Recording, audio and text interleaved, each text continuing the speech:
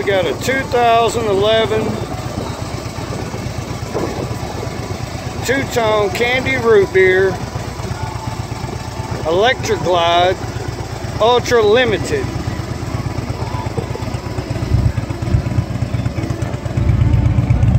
Got the bumper pull Vance and Hines exhaust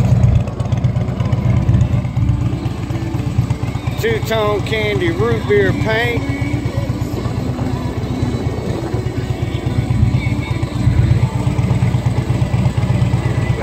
around the tour pack. Chrome bezels, cup holder, speakers. Got all the chrome. Dash, CD player. We're looking at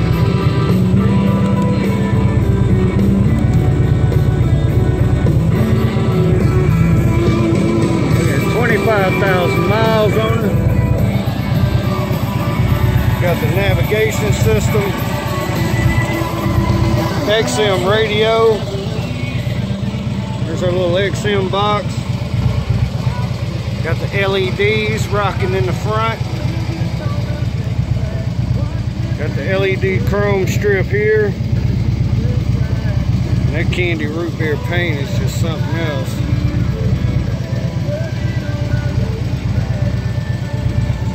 Got the LED light here.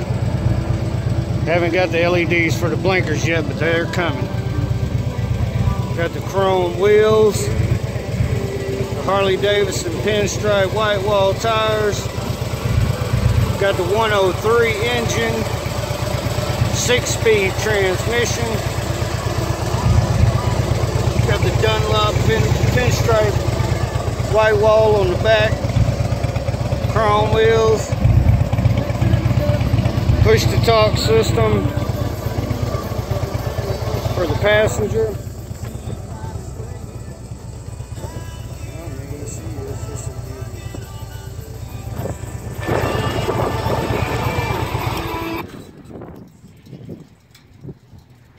And she is a dream to ride. All right, as y'all may have known, I did have the Nomad, the Kawasaki 1600 Nomad.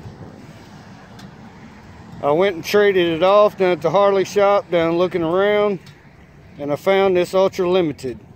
And let me tell you guys, I fell in love with it. It had everything I was looking for, the six-speed transmission, cruise control, the 103, cubic inch motor, Vance and Hines exhaust, already had the bumper ball on the back for a trailer, CD player, navigation. I mean, this thing was loaded up and ready to go. I'm to make a few changes to it, like the windshield. I'm to get a shorter windshield and a windshield bag. It didn't come with a windshield bag, so we're going to change that. And a backrest. I got to have a backrest. My Nomad had one, and I fell in love with it. And man, it's just long rides just ain't no fun without a backrest. Got an air horn so they can hear me coming. Got the LEDs so they can see me coming. And got a stereo system so they can hear me coming also. I like this thing. I had to get rid of the Nomad. Well, I'll say I had to. I didn't have to, but I did anyway. Just because all my friends made me feel like an outcast. I come rolling up on a Nomad and they're all sitting out there on their street glides and their fat boys and their ultra classics. And I felt like a out of place, you know. They would all be like, park your bike over there. this is reserved for Harley parking. And my damn mechanic guy that I like to go talk to to get advice on how to work on different things, he won't even let my bike in his shop. Now, he says, oh yeah, bring it on. Love to have it. I'll do whatever you want to it. He is a certified master mechanic, Harley Davidson. I believe he's went to every dadgum school that they've ever had. And now he runs his own shop. And only Harley Davidsons can grace his shop. And I got one now that he says he'd be proud to let come right in his shop. And he would be proud to turn a wrench on that dude. And I am a proud owner. This is my bike. There are many like it. Made in 2011, of course. But this one is mine. And I'm going to do with her what I will. And I'll show y'all from time to time the upgrades and stuff I do to it. But she is a beauty.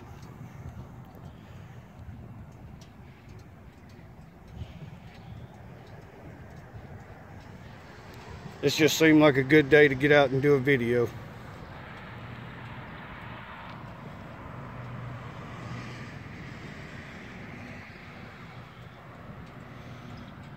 that candy paint. It is something. Mirrors. I'm going to change those mirrors. I'm going to get a taller mirror. That's another thing I'm going to do to it. Other than ride the piss out of it.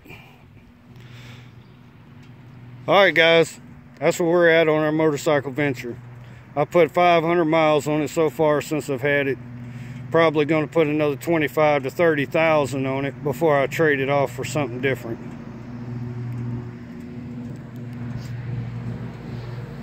Look at those wheels just shining, beaming. Got the dual disc brakes on the front. And this is one of the things that I like too. Mama don't like having her legs hanging over this bar with these down. So she can put her feet up here and kick back just like their highway pegs for passengers. She loves them, and I enjoy that she loves them. Well, I got a guy mowing over here. It's time to cut this video short. But there's where we're at. Proud Harley Davidson owner in the Harley Davidson family. Rock on.